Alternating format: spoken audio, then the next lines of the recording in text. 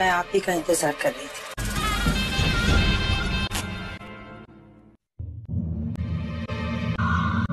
आपको मेरी जानवी के बारे में किसने बताया? खुद जानवी ने mister Viraj I have a gift जिन लोगों को मरने के बाद